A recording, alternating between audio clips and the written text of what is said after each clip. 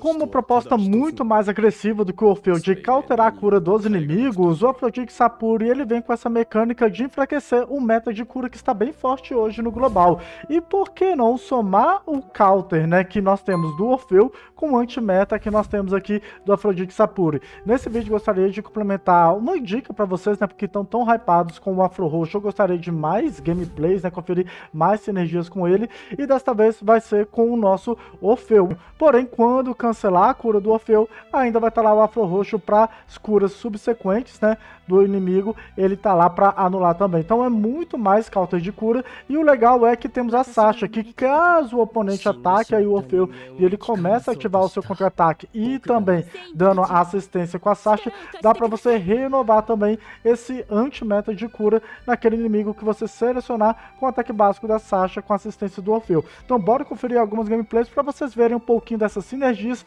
e também algumas interações que o Afrodite vai aplicar aí de anti-cura com alguns componentes aí novos que eu não trouxe no vídeo anterior. Então a nossa primeira play que vai ser bem rápida, por isso que vai ter quatro replays, que normalmente gosto de três, mas essa aqui foi muito rápida, é para verificar a interação dele contra o Hypnos. Inimigo aqui também tem uma Pandora, ok? Então vamos lá. Aqui eu já estou utilizando um Thanatos, né, para deixar a luta mais agressiva e tal, só que depois eu tirei porque as lutas ficam muito rápidas a gente colocar personagens meta demais.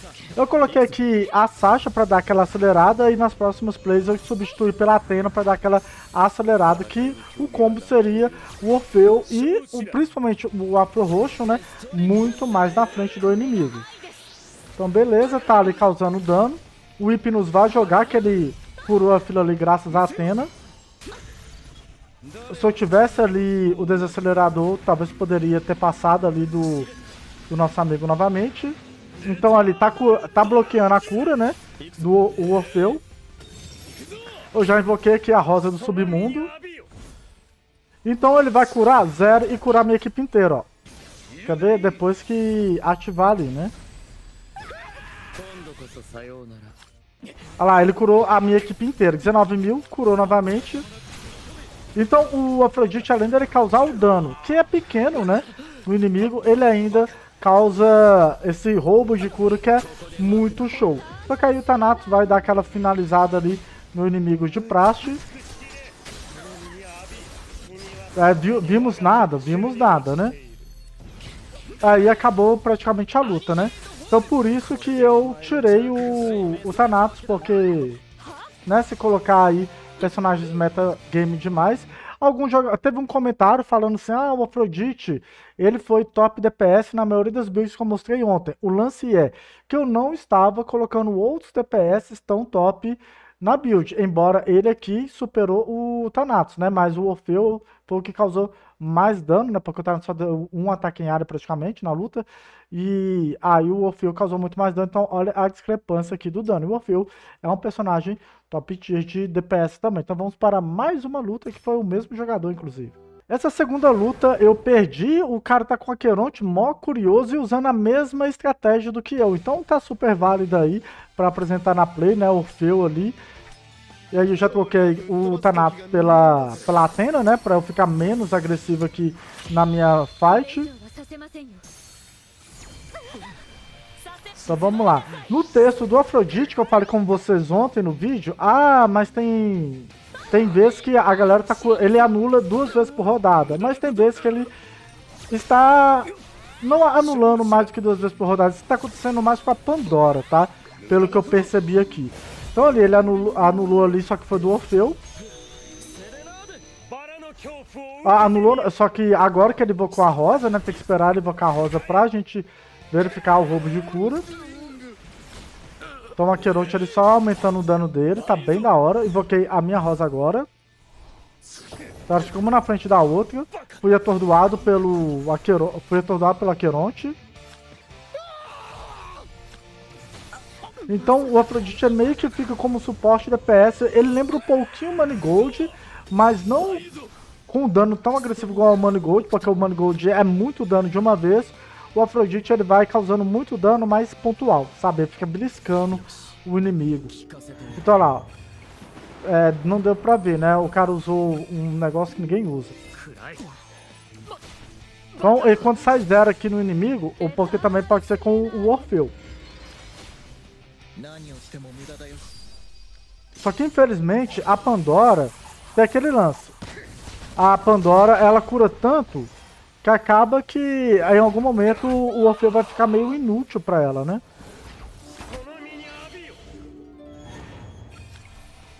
Olha lá, ela vai curando e curou aqui, ó, tá vendo, ó, 80 mil Afrodite. E aí ela começou a curar normal ali a equipe inimiga.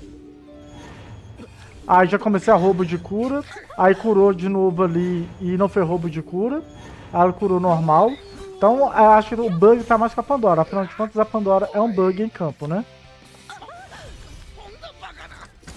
Ó, o Queronte arrebentando ali no dano. Ela deu uma assistência mó aleatória ali com o Doku.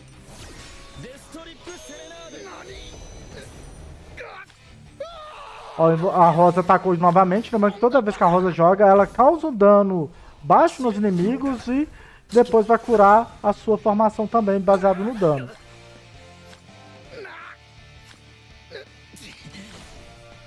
Só que aparentemente ele não tá roubando roubo de cura, só efeito de cura. Agora roubo de cura tá não. Depois vamos até prestar atenção no roubo de vida aqui do Orfeu. Mas ele não tá bloqueando. Ela tá vendo, o Orfeu dá o contra-ataque, aí bloqueia a cura. Aí curou zero. Por causa do Orfeu lá. O Orfeu e o Afrodite tá com, com as notas musicais do Orfeu. Tancou. O ataque final, né? Baseado na quantidade de cura. Né? Quanto mais ele roubou cura, mais dano ele causa. Mas não tá causando muito dano. Vocês podem ver, ele não causa tanto dano assim. Ela curou o Alone. Curou o afro roxo dele curou a própria Pandora e curou o Albafka dele.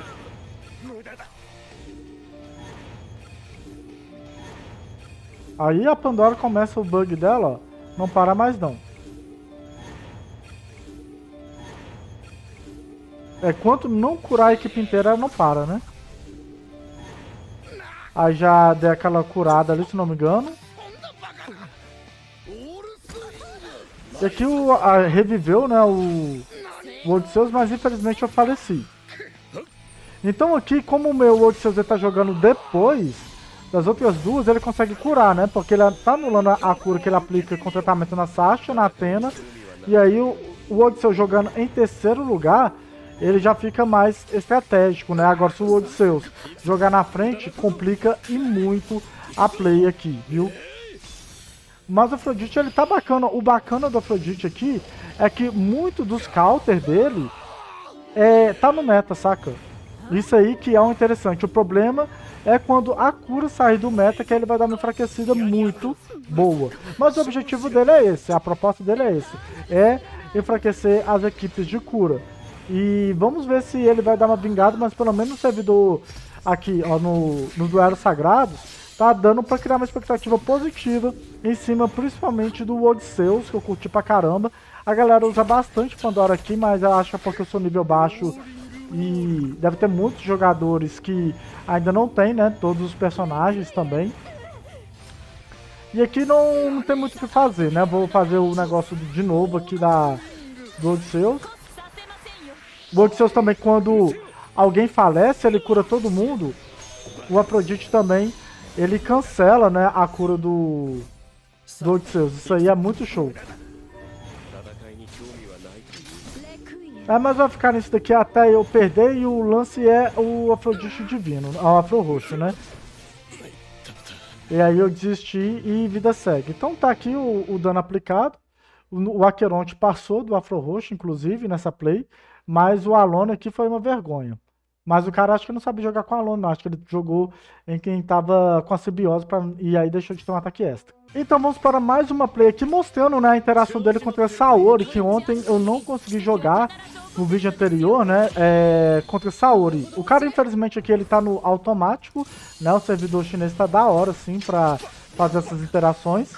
Mas vamos, só pra vocês verem um pouquinho dele contra Saori, que fica bem legal. Assim, bem legal assim, por causa do combo, né? Temos aqui o Orfeu e o Afrodite. Então ele invocou aqui a Rosa. Vamos esperar ali a, a Saori começar a jogar. Então ela vai rodopiar. Aí do contra-ataque, né, pra bloquear, então... Aí eu vou jogar como eu dou, que ela vai rodopiar.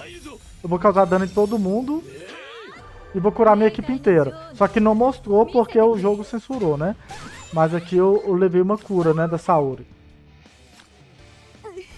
Ataque final. E agora a. Como é que fala? Ela tá vendo com a Sasha? E aí, com o ataque básico da Sasha fica muito top. O ataque final é agora, melhor dizendo. Causa muito pouco dano, infelizmente. Então vamos lá, minha Sasha jogando, a Saori vai curar a minha equipe, né? Só que aqui meio que não curou. Então lá, vai causar mais dano na equipe inimiga novamente.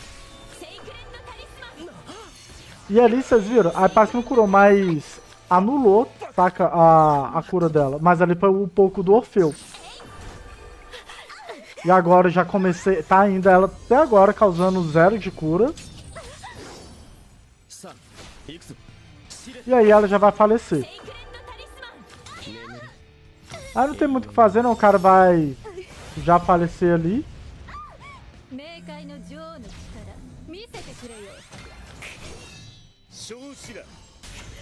E é só Suende aí pra, pra gente vencer. Mas só pra vocês verem um pouquinho dessa interação, que, pô, é da hora, é da hora. Isso porque eu mudei a build, né? Eu tirei o Thanatos, porque deixaria muito mais agressivo aqui os inimigos no Kurano e o Thanatos causando dano em área também.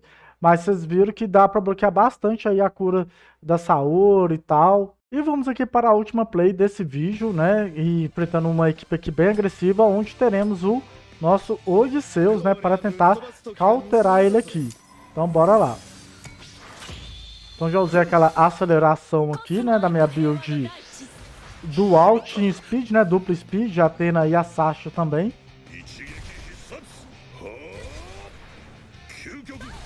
O, o lance aqui eu queria passar do Odisseus, mas não dá pra passar do Odisseus, infelizmente, mas ele não usou tratamento na roda da 1, né? Também que fica indiferente. Então, quando o inimigo tem, assim, apenas um único cura também, é tipo somente o Odisseus, cara, fica muito show, porque o Odisseus, ele ativa uma cura fixa por rodada e uma extra para cada vez que alguém falece. Aí tem a parte do tratamento dele que ele vai curando toda vez que um aliado joga. Só que o que acontece? Se ele for o, o na frente da fila, e olha que o Odisseus é um dos personagens mais rápidos do game, o, o Afro Roxo consegue dar um bom counter nele nesse aspecto também. E além do mais, ainda vai curar essa equipe inteira. Isso é muito roubado. Né? A cura do Odisseus é uma cura excelente para ser roubada. Então vamos lá, na próxima rodada, se não me engano, ele vai ativar aqui a cura. Aí o ataque final da Pro Roxo.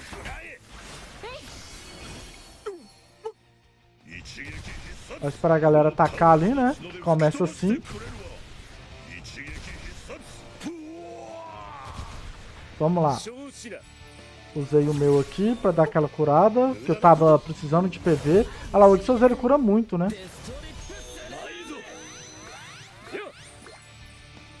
Aí já vou dar aquela anulada na cura dele. Olha só, então o Odisseus com PV Full Life, Canon, PV Full Life não vai acontecer. Então lá vai dando um dano na gente. Já causou o dano dele ali, se não me engano, roubou a cura também. Agora tem o lance do Odisseus, né? Quando todo mundo joga, vai vai aplicando uma cura.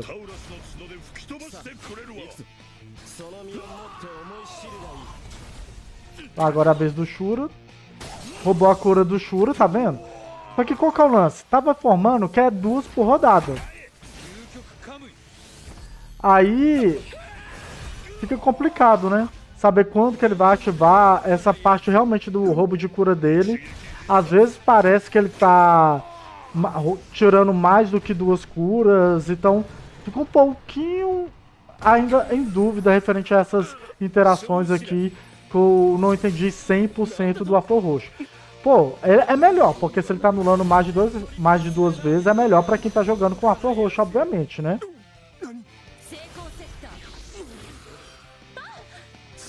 Lá, vai ele de novo.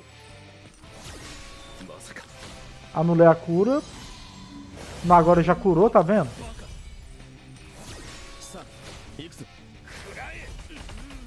Já deu uma curinha ali, só que o Orfeu não vai tancar, se não me engano. Só que aí deu aquele revive. Botei ali o Thanatos pra dormir.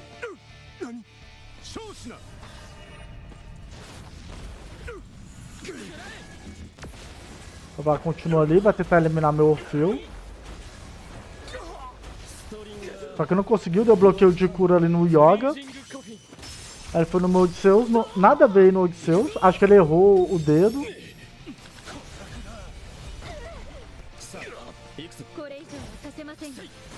Então já bloqueei a cura ali no, no Odisseus também. Aí tem menos inimigo, né? E ele causa quase nada de dano, né? Só que aí tem aquele lance, quando tem menos inimigo, o, o Afro Roxo ele começa a causar mais dano. Então ele pro final da luta ele começa a ser um personagem mais perigoso. Então ele finalizou. Aí ó, já causou bastante dano aí no final, fi. É muito dano que ele causou. Mas não o suficiente ainda para superar o, o Orfeu, mas pô, chegou quase no Orfeu, né? Então esse foi mais uma pouquinho das plays, né? que eu gostaria de compartilhar com vocês, principalmente dessa sinergia que ele tem com o Orfeu. E é isso, galera. Comenta aí o que, é que vocês acharam é, do Afro Roxo. Vocês estão aí com mais hype dele? Ainda estão com alguma dúvida? Se tiver com alguma dúvida, deixa aí nos comentários. Realmente, a parte ainda da, do lance da cura dele, às vezes parece que ele está anulando alguma cura mais de duas vezes por, por rodada de algum personagem. Fica um pouquinho confuso, não sei se tá certinho ele desse jeito ou não, mas no geral é isso daí que vocês estão vendo, né? E comenta aí, se tem mais alguma sinergia, mais alguma dica referente ao Afro Roxo, deixa nos comentários, quem sabe aí seu comentário possa virar um vídeo aqui no canal. Valeu e fui!